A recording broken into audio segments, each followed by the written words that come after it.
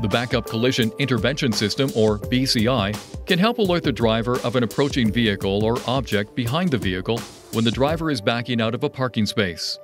If enabled, the system operates when the shift lever is in reverse and the vehicle speed is less than 8 km per hour. If an approaching vehicle or rear object is detected, the system notifies the driver with one or more of the following warning chimes, the blind spot warning indicator lights on the inside of the front doors, and indicators on the around view monitor on the upper touchscreen display. If necessary, the system applies brief braking pressure while the vehicle is moving backward. After the automatic brake application, the driver must continue to depress the brake pedal to maintain brake pressure. If the driver's foot is on the accelerator pedal, the system will push the accelerator upward before applying the brake. If you continue to press the accelerator, the system will not engage the brakes.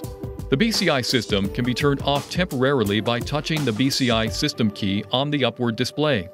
After touching that key, the BCI on indicator turns off. The BCI system automatically turns back on when the engine is restarted, or the shift lever is moved out of and then back into the reverse position.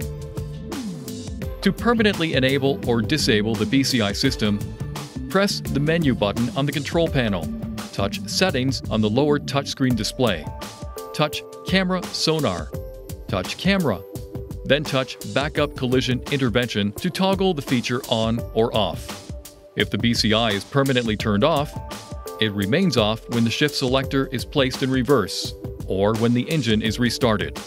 Please see your owner's manual for important safety information, system limitations, and additional operating and feature information.